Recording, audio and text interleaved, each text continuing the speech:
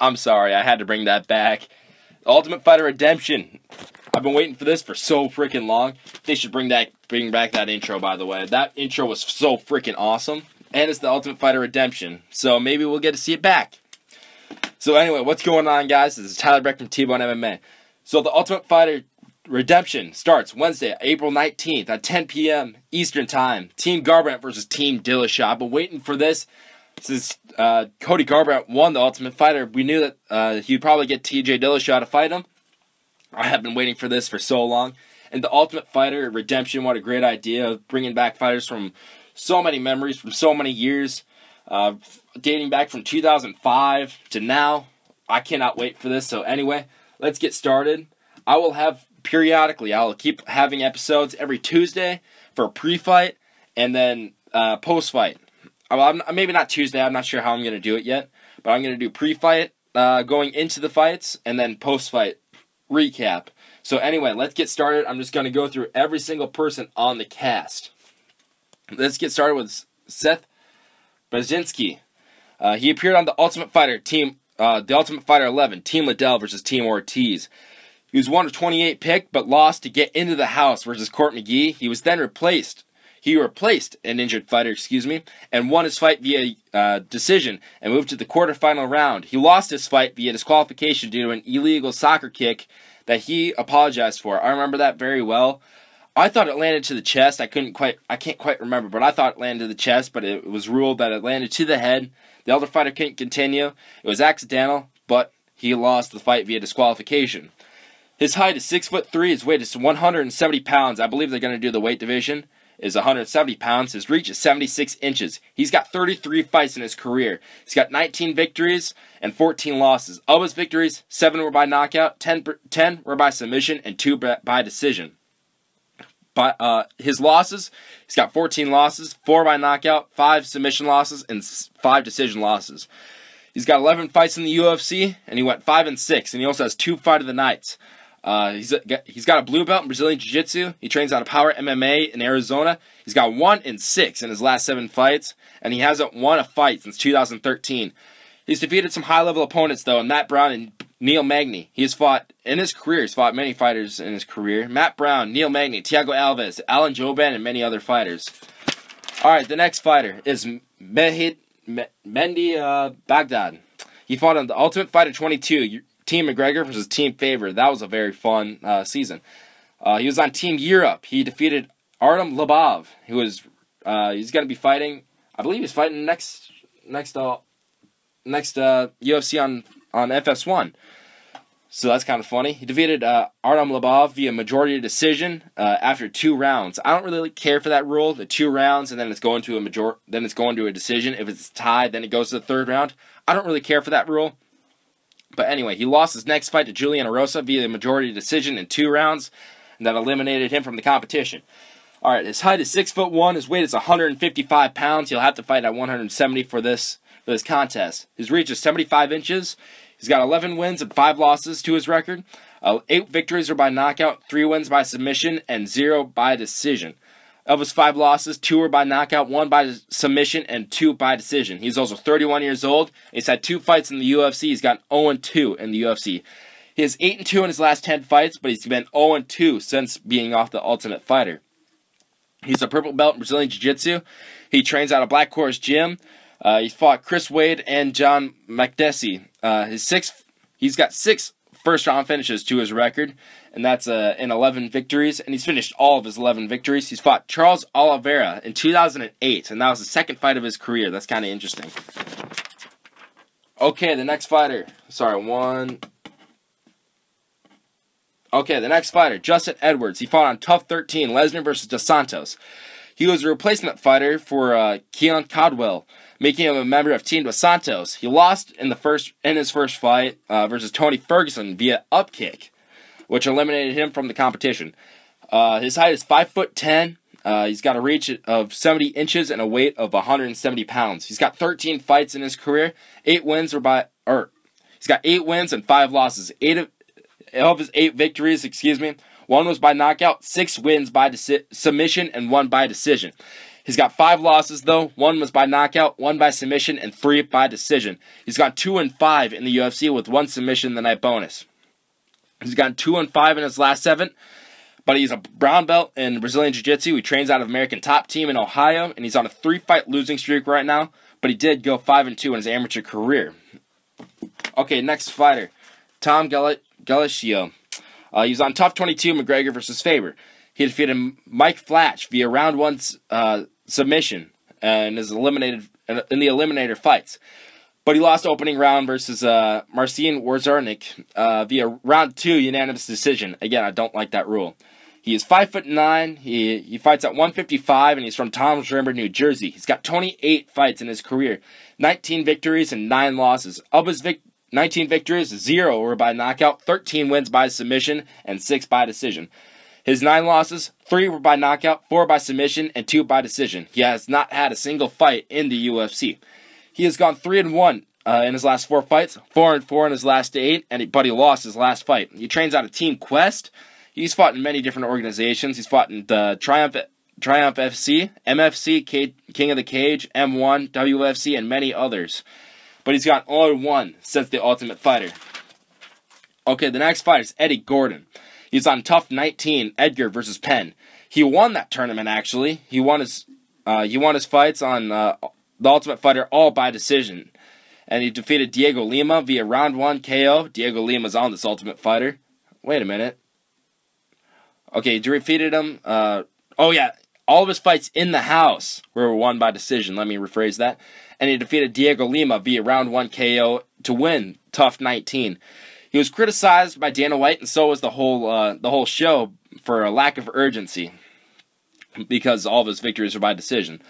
He is six foot tall, and he's fought in 185 pounds. He's got a 75 inch reach. Uh, he's from Montego Bay, Jamaica. He's got 12 fights in his career, eight wins and four losses. Of his eight victories, three were by knockout, one by submission, and four by decision. He's got four losses to his credit, uh, one by knockout, one by submission, and two by decision. He's had four fights in the UFC, but he's gone one and three in the promotion. Yet again, he's gone one and three in his last four fights. He won the Ring of Combat Light Heavyweight Championship in 2012. He last won his last victory was in August of 2016 via split decision via split decision versus uh, Chris Lanzano at Cage Fury Fighting Championship 68. Okay, the next fighter is Hayder Hassan. He was on TUF 19, American Top Team versus the uh, Blackzilians. Uh, he defeated Andrew uh, Narcana via t- TKO in 48 seconds. Then he won majority decision versus Felipe Portal, Portala, and then split decision versus uh, Vicente. I'm sorry, I cannot say that guy's last name. But lost in the finale versus Kamaru Usman via arm tri- triangle in the second round. Kamaru Usman is a very talented fighter. He's 34 years old. Uh, he's 5 foot 10. He weighs 170 pounds, and he uh, fights trains out of American Top Team. I just remember this now. I forgot to do my uh, Bruce Buffer intro. My bad. I'm sorry. I got distracted a little bit there. Uh, maybe I'll edit it in. I'll try to figure that out. anyway, he's got six victories and three losses. Of his six victories, five. Five are by knockout, zero by submission, and one by decision. Three losses, one was by knockout, two by decision, and zero wins by decision. He's got 0 2 in the UFC.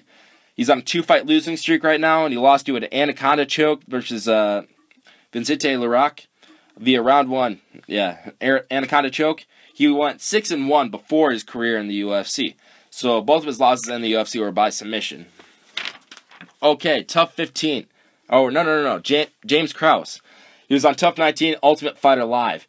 He lost in the elimination round versus uh, Justin Lawrence uh, via round one TKO in one minute and 25 seconds. So he never got a chance to actually be on the show. Uh, he's six foot two, uh, weighs 170 pounds, and his reach is 73 inches. He fights out of Glory MMA and Fitness. His record is 23 wins and seven losses.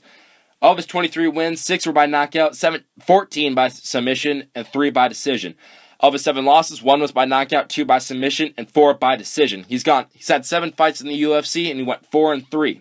He's got, also got 30 fights in his career, which is a crazy amount. he's he is on a two fight winning streak right now. Uh, he's got a black belt in Brazilian Jiu Jitsu. He's uh, fought in WEC, Bellator, Titan FC, RFA, IFC, and the UFC. In the UFC, uh, in his victories, two are by submission, one by TKO, and one by decision. So he's got a very good UFC record. He's probably going to be the top pick in my opinion. Okay, Julian Lane. This guy was very fun to watch. Very interesting, very interesting personality. If you watch TUF 16, uh, Carwin versus Nelson, you would understand. Uh, he won his eliminator eliminator fight via versus uh, Diego Bautista via round two unanimous decision, but he lost his alt, uh, opening round via round two a unanimous decision. And then, if you remember that, uh, he had that "Let Me Bang" meltdown where he kind of got he drank a little too much in the house and he kind of had a big meltdown. And he kept saying, "Let me bang, let me bang." And that's kind of become an internet meme. So he's certainly going to bring some uh, good personality to the house. Uh, he's gone five. Oh, oh never mind. Uh, his height is five foot ten. His weight is 155 pounds, and he fights out of Rec Room Athletics. He's got 18 fights in his career, 11, vic- 11 victories, seven losses. Uh, of his 11 wins, one was by knockout slash TKO, seven by submission, and three by decision. In his seven losses, four by knockout, zero by submission, and three by decision. He has no UFC experience. He's gone two and five in his last seven fights, but he has gone two and one in his last three fights.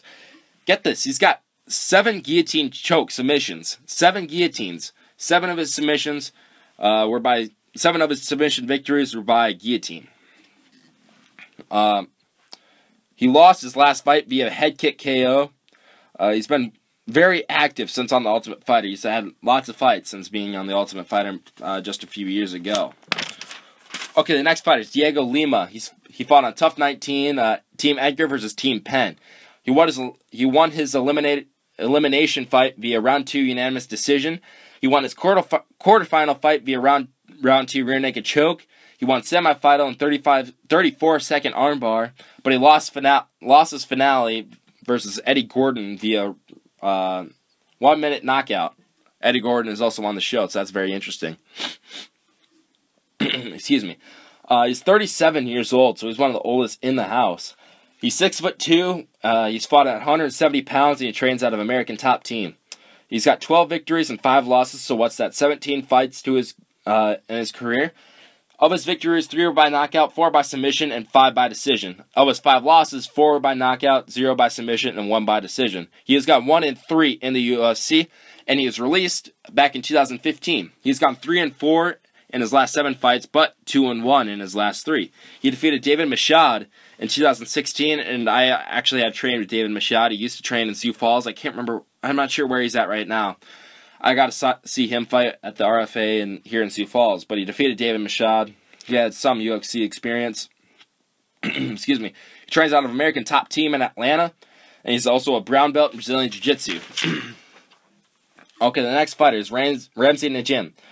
He fought in TUF 13, Lesnar versus Dos Santos. I remember watching that. That TUF 13, that was so long ago. It's crazy. He won all three of his fights in the house. He won his uh, preliminary bout via round two rear naked choke. He won his quarterfinal bout via rear naked choke in 56 seconds. Semifinal bout, uh, he won via TKO in round two, but he lost his finale via KO versus a guy named Tony Ferguson. Who is Tony Ferguson? I'm just joking. Uh, his height is five foot eleven. His weight is 155. He's fought at 155 pounds. He's got a 74 inch reach, and he trains out of the pit in Utah. Uh, he's got 15 fights in his career, 9 victories and 6 losses. Of his 9 victories, 3 are by knockout, 2 by submission, and 4 by decision. Of his 6 losses, however, 3 are by knockout, 2 by submission, and 1 by decision. He's got 10 fights in his career. 10 of his 15 fights were in, his, in the UFC. He's gone 5 and 5 in the UFC. He's 2 and 2 in his last 4 fights, 2 and 4 in his last 6, but 0 and 2 in his last 2 fights. So he's on a 2 fight losing streak right now. He's got a black or a background in Division One wrestling. He went 27 and five in his high school senior year, and that won him, I believe, Wrestler of the Year in his home state. Uh, he did not have an amateur career; he just skipped amateurs and went directly to the pros. Uh, he's the head coach of his gym in Utah, of the Pit in Utah. He lost his last fight via split decision in July of 2015, so he's been out for a very long time and he's got a crazy amount of experience in the UFC. He's got 10 fights.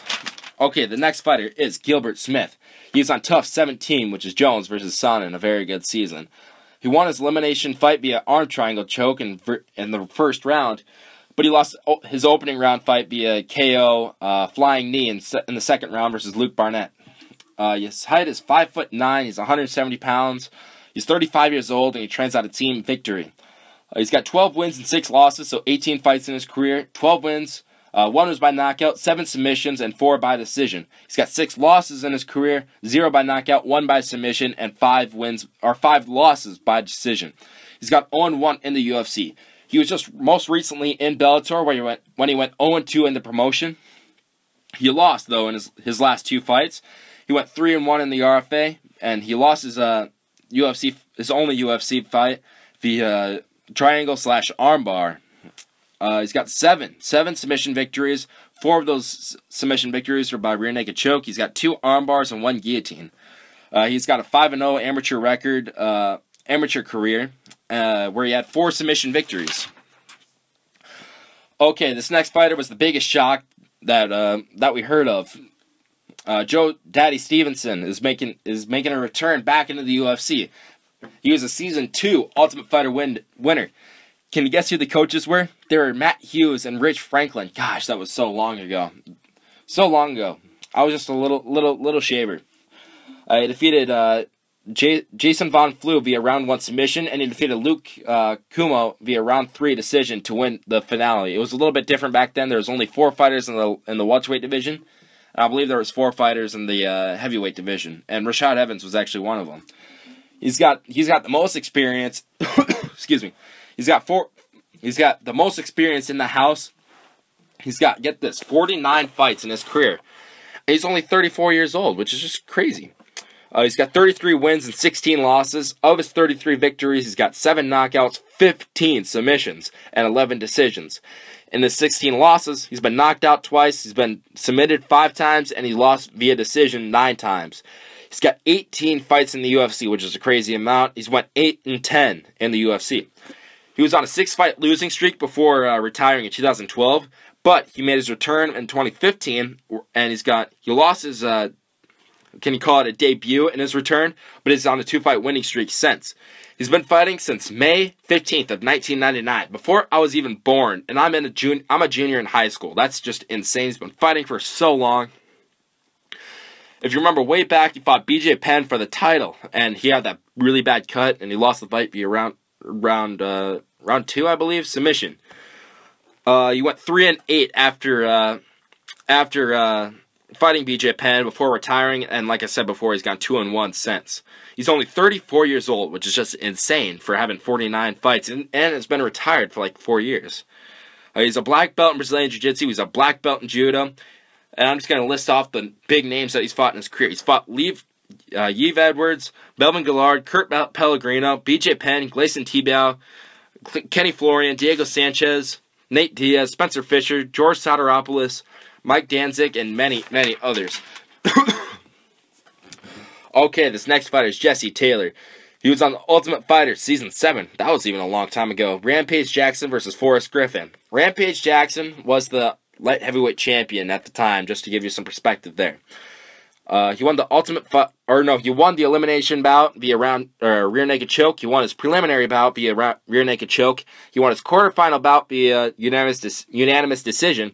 He won his semifinal bout via unanimous decision, and was supposed to fight for the finale, but he never fought due to Dana White taking him off the show. I'm not going to explain exactly why. You can look it up if you want to, but he engaged in some behavior that uh, did not represent the UFC, so Dana pulled him from uh, the Ultimate Fighter from fighting in the UFC. Actually, he fought. He's fought only one fight in the UFC. Uh, he's six foot one. He weighs 185 pounds. By the way, he's probably matured a lot since that event. he's got a 73 inch reach, and he trains out of Team Quest. He's got 45 fights in his career. By the way, going back to that, that one little mistake, what it was a very dumb mistake. I'm not going to explain what it was. Cost him a, a career in the UFC. So just be smart, okay? He's got 45 fights in his career, especially for fighting. He's got 45 fights in his career. He's got 30 victories, 5 by knockout, 16 by submission, and 9 by decision. He's got 15 losses to uh, in his career, 0 by knockout, and get this, 14 submission losses. Only one decision loss. That's that's almost suspicious. That that's weird. Maybe I I read the website wrong, but that's what I read. He's 0 1 in the UFC and he's lost his and his only his only fight in the UFC was a submission loss versus uh, CB Dollaway. He's gone three and six in his last nine fights and one and three in his last four fights. He's got a background in Division One wrestling. I'm sorry. He's got a background in Division One wrestling, and he's a brown belt in Brazilian Jiu-Jitsu. He lost his last fight via armbar in October of 2016. okay, the final fighter. Last but not least, Hector Urbina. He's on the, top the Ultimate Fighter Season 19, Edgar versus Penn. A lot of fighters coming out of that season. I'm not sure why. He won his uh, elimination fight via round one guillotine choke, but he lost his quarterfinal fight via round three decision. Uh, he's six foot tall and weighs 170 pounds. He's got 28 fights in his career, 17 victories and 10 losses. He's got nine knockouts to his credit, five submissions and two decisions. Of his 10 losses, six were by knockout, two by submission, and two by decision. He has three fights in the UFC and he went one and two. Right now, he's on a two fight losing streak. He's gotten six wins, seven losses, and one draw in his last 14 fights. He trains out of American Top Team, and he last fought. his last fight went uh, one minute, and he got knocked out in September 2016. So that's every fighter. So I'm just gonna explain what I'm gonna do. Uh, for every single fight, they're gonna announce the fight, probably more than likely. I'm not. I'm not sure exactly what they're gonna do for the first uh, event for the first episode. I'm not sure exactly what's good, what's uh, gonna happen, but uh, for every fight, I'm gonna go. I'm gonna review every single fighter. I'm gonna explain what's going on in the house, what how relations are. From what I've heard, it's gonna be a pretty good season, especially with the rivalry between uh, uh, TJ Dillashaw and Do- or not Dominick Cruz, uh, Cody Garbrandt. So I'm really excited for it. I can't wait. It's gonna be kind of a series for me. So I'm really looking forward to it. By the way, if you haven't checked out my website, my website is tbonemma1.weebs.com.